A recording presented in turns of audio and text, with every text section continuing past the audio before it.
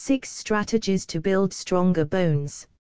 If you've been diagnosed with osteoporosis, these strategies can help increase your bone mass and reduce the effect of mineral loss. More calcium.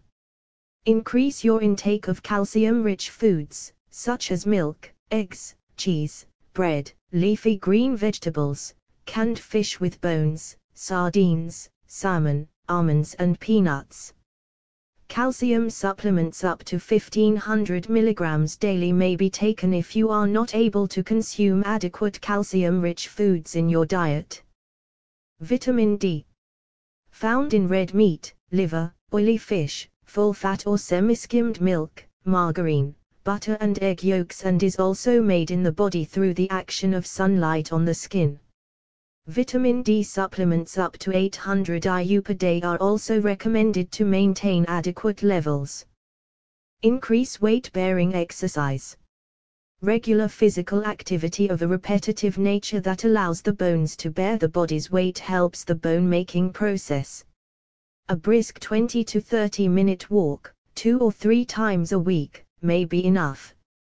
In some cases vigorous exercise may not be appropriate. Stop smoking and reduce alcohol consumption.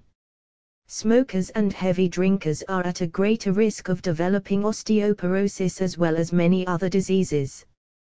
Selective estrogen receptor modulators, SERMs.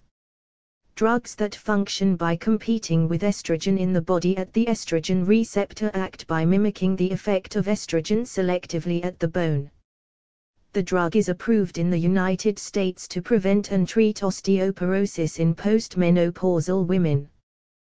Bisphosphonates Bisphosphonates are drugs that affect bone by inhibiting its breakdown, preventing bone loss and increasing bone density and reducing fracture risk. They are prescribed oral tablets taken daily, once weekly, once monthly or once a year as an injection.